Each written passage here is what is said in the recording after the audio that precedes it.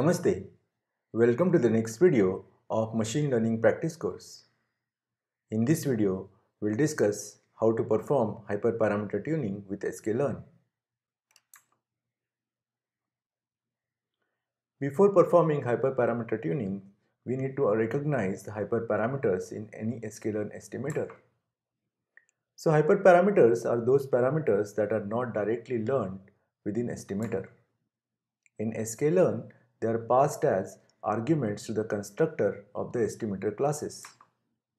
For example, degree in polynomial features is a hyperparameter.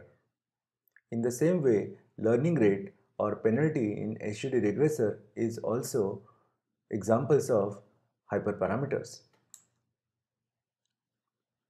So how do we set these hyperparameters? So we normally select hyperparameters that result in the best cross-validation scores. Hyperparameter search consists of five different objects. So we need to have an estimator, which is either regressor or classifier.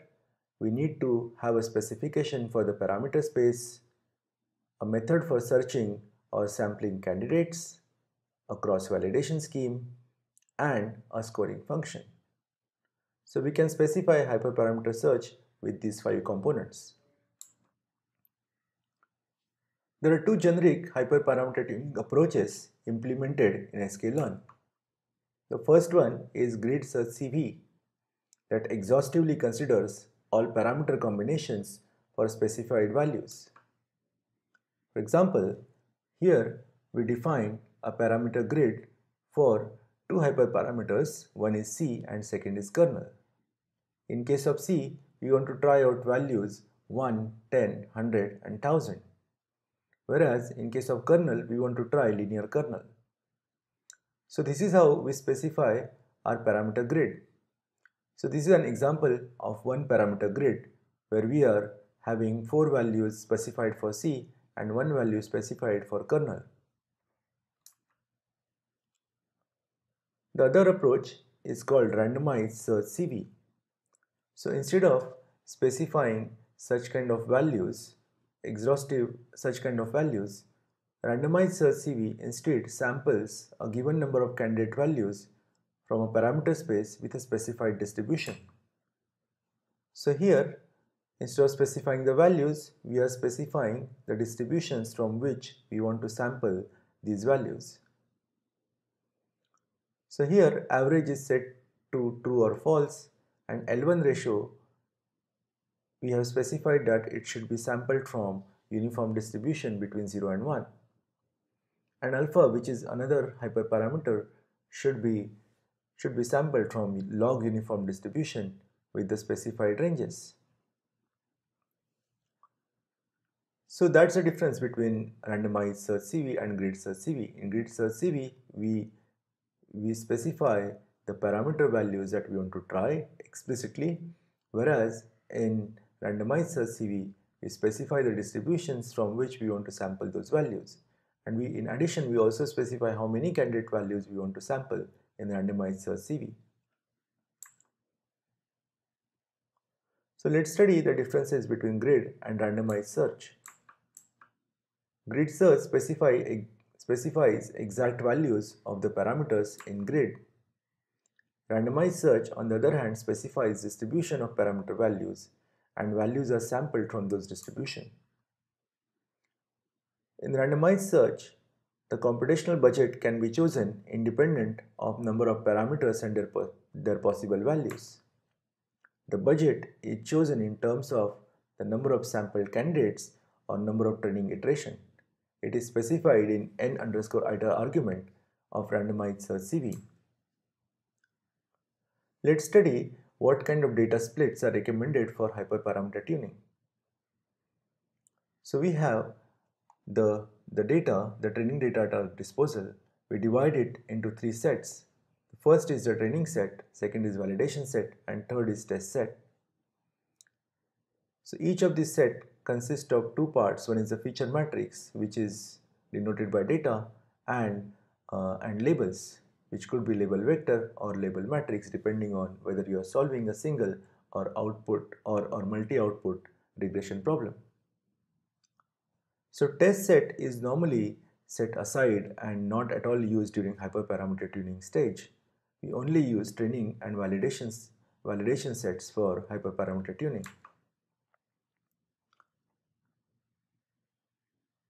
So as the first step, we divide training data into training, validation and test sets. In the second step, for each combination of hyperparameter values, we learn a model with training set. So we have training set and we have different values of the hyperparameter. These values may, may be specified via grid or via randomized search CV. For each value of hyperparameter, we train for each possible values of a hyperparameter set, we train a model.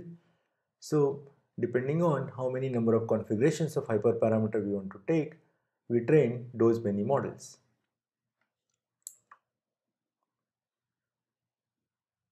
So as I said, this step creates multiple models. So we can run since since all these models are being trained in parallel, we can run this step in parallel for that we have to set n underscore jobs parameter to minus 1. Here there is another cautious uh, caution that we need to uh, we need to be uh, we need to take. There are some parameter combinations that may cause failure in fitting one or more folds of data. This may cause the entire search to fail. In such cases, set error underscore score to 0 or np.nan this helps us to set score for problematic folds to 0 and then complete the search. So there are these two things that you should keep in mind. One is that we can run these jobs in parallel and second whenever error occurs in a particular hyperparameter search what should we be what should be done with error error of that particular fold. So we can set it to 0 or np.nan and you know that sets the error to 0 and we are able to complete the search.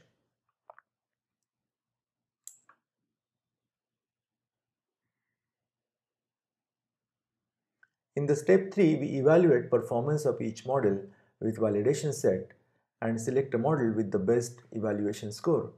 So these were the these are the models that we learned in the in the previous step. And now what we do is we use the validation data and we use the validation feature matrix specifically to get predictions. We compare those predictions with the actual predictions of the validation fold and come up with and calculate the performance measure. We repeat this process for each model that was learnt in the previous step. And we select the best model that is based on based on the based on the performance score.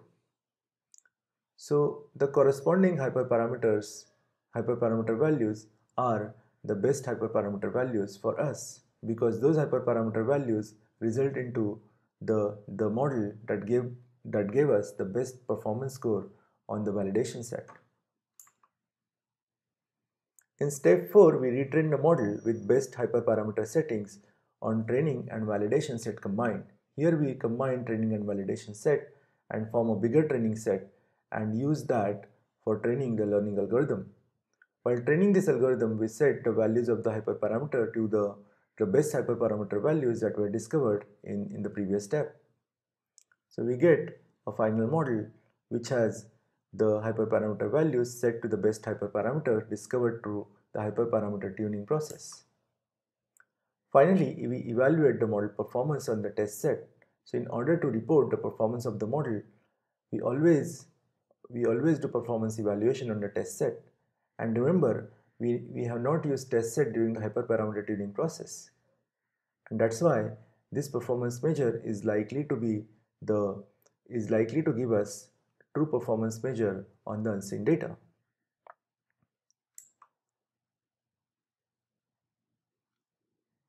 So apart from these two methods, which is grid search CV and randomized search CV, there are some model specific hyperparameter tuning that is available for regression task.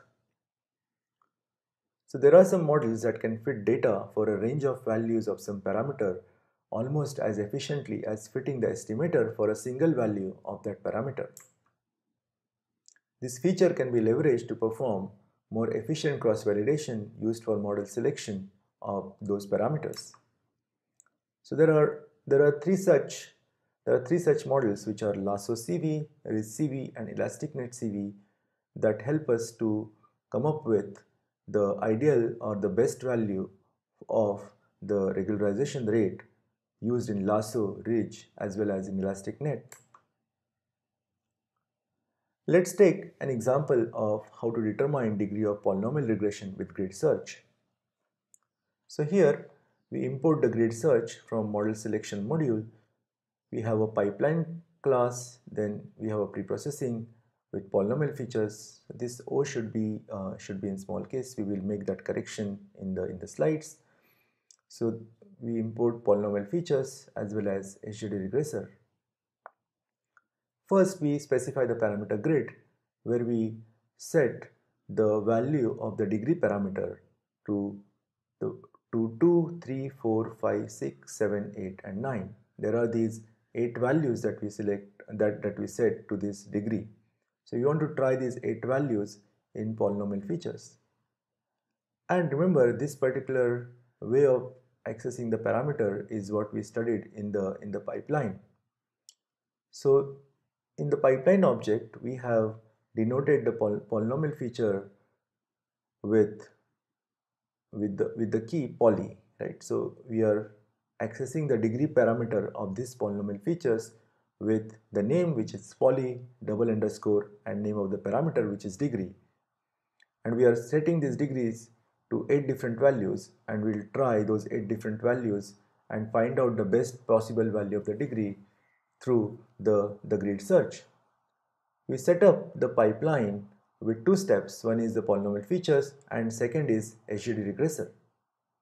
Finally, we, we call the grid search CV on this pipeline, on this particular pipeline object with the specified parameter grid, setting number of cross validation folds to 5 and we also specify the performance measure which is negative mean squared error and we want we want this grid search CV to also return the training scores. That why that's why we are setting return underscore train underscore scores to true. And finally we call the fit method on on the training set. So we have we are specifying just like fit of any estimator we are specifying the feature matrix as well as the, the labels to the, to the fit procedure. And this will perform the grid search and get us the best possible hyperparameter. In this case, we'll get the, the suitable value for the degree hyperparameter of the polynomial features. So this was a short discussion about how we can use hyperparameter tuning for polynomial regression. So in this video, we studied how to perform hyperparameter tuning and there are two ways for performing hyperparameter tuning either using grid search or randomized search CV and there is a third way where there are certain methods that provides efficient way of performing hyperparameter tuning and those methods correspond to the regularization methods which is lasso CV, Ridge CV and ElasticNet CV. Then we looked at how to perform data splits in hyperparameter tuning and how training and validation folds are used for, for coming up with the best possible values of the hyperparameter. And then we use test fold for reporting the final performance of, of the model. So we will use we'll use uh, we will use these techniques that we studied in this in this video in, in the Colab for, uh, for more extensive demonstration.